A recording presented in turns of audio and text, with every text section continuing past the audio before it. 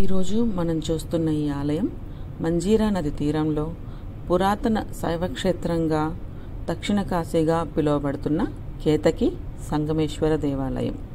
ఈ దేవాలయం తెలంగాణ రాష్ట్రం సంగారెడ్డి జిల్లా జరాసంగం గ్రామంలో ఉంది.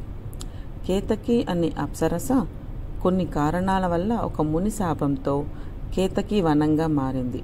కేతకి అంటే మొగలి పువ్వులు ఉంటాయిగా మొగలి పువ్వు. ఆ వ- కేతకీ వనంలో బ్రహ్మ కూర్చొని శివుని గూర్చి తపస్సు చేస్తుండగా శివుడు శివలింగ రూపంలో ప్రత్యక్షమై బ్రహ్మ కోరిక మేరకు బాణలింగ రూపంలో ఇక్కడే వెలిశాడు.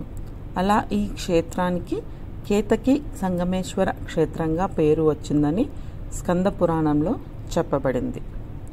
అలాగే కృతయుగంలో కుపేంద్రరాజు చర్మవ్యాధితో బాధపడుతున్న సమయంలో ఈ ప్రాంతానికి వచ్చి ఈ కేతకీ వనంలోని నీటి గుండంలో స్నానం చేయగా రాజుకు పూర్తిగా స్వస్థత చేకూరింది.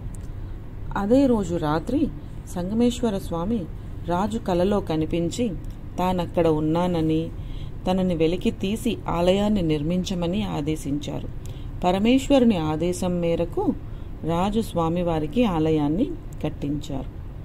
ఇది ఈ ఆలయం యొక్క స్థల పురాణం.